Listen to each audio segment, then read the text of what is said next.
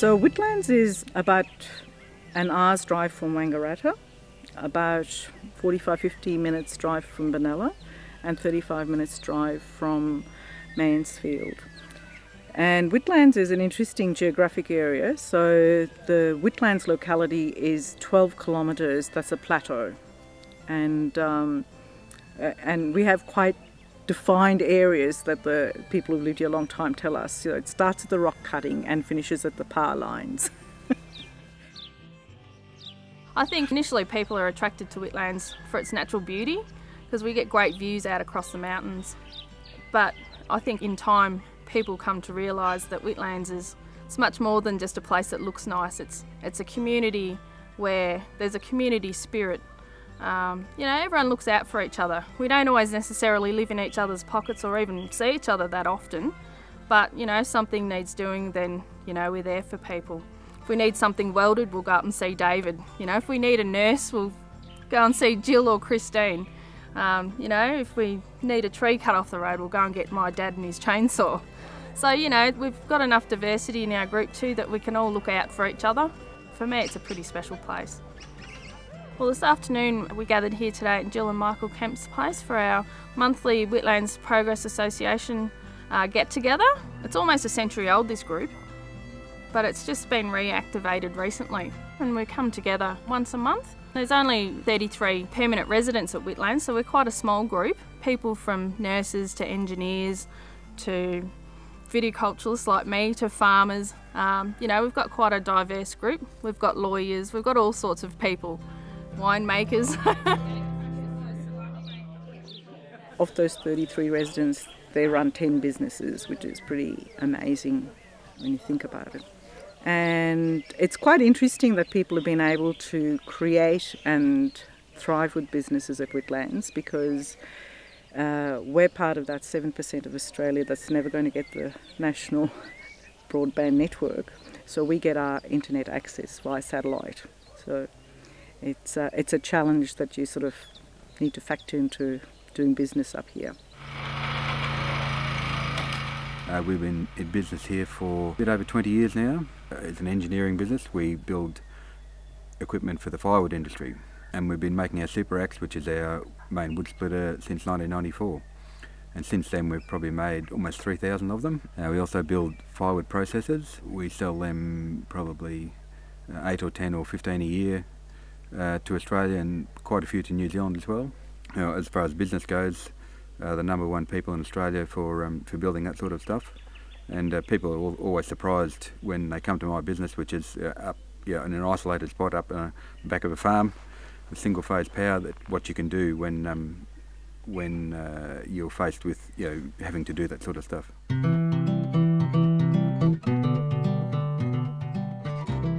Whitlands' history is quite young compared to our surrounding valleys. It's, it didn't start really until the 1880s, so it was almost 100 years after the first fleet arrived that people actually started to settle on Whitlands, and it was uh, it was through government initiatives that they um, put the land up for selection.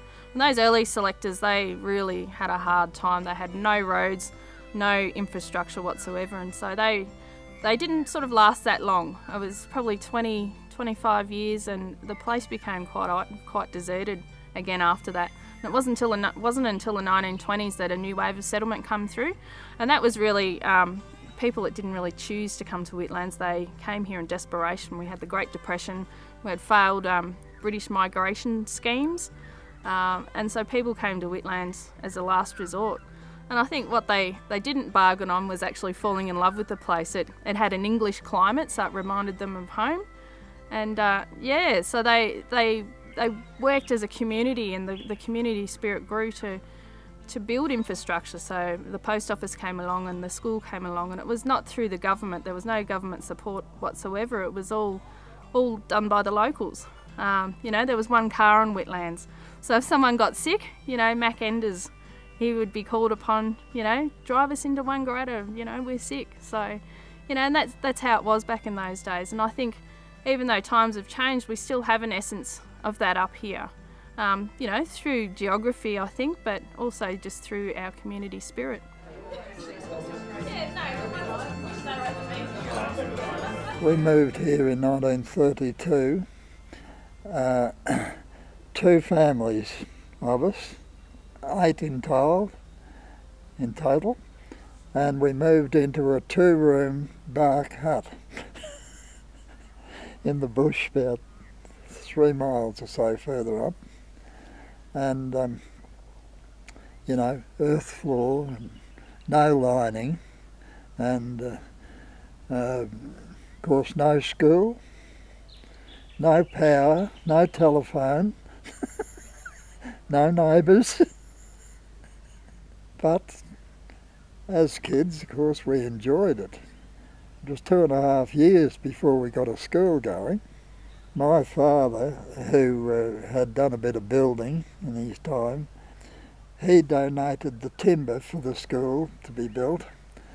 And uh, an old chappie who used to own this place actually, um, he donated the iron for the roof and uh, it was built by working bees and once the building was up then the education department supplied a teacher. I was born on Whitlands in 1935 and um, from there on it was sort of a real pioneer's existence. Um, my father, along with neighbours Wally Unsworth, Andrew Skirving, Mac Enders, and Arthur Hardy and Danny Jones, who owned this place, um, worked together on the sawmill, who cut the timber and built the school and built our houses, and that's where it all started. Once they got that done, they started cl- clearing the scrub, growing potatoes, milking cows, and uh, as Dad used to say, he worked like hell in the summer and the spring, fed the cows so they didn't die in the winter. So he never made much. So, yeah, so that was the existence. But through all the hard times, we mightn't have had, mightn't have had shoes in our feet or the backside in our pants, but we never went hungry. That was great. I've had a very, very interesting life. I reckon I've seen virtually the birth of electricity and what it could do for us and this area up here now was mainly cleared, whereas in those days it was potatoes and cabbages and so forth to feed the family. They brought a picture show to Whitfield, Shirley Temple, animal crackers in my soup, and uh, we walked to Whitfield and back again, 12 miles to see that show. And that was the first time I'd ever seen electricity.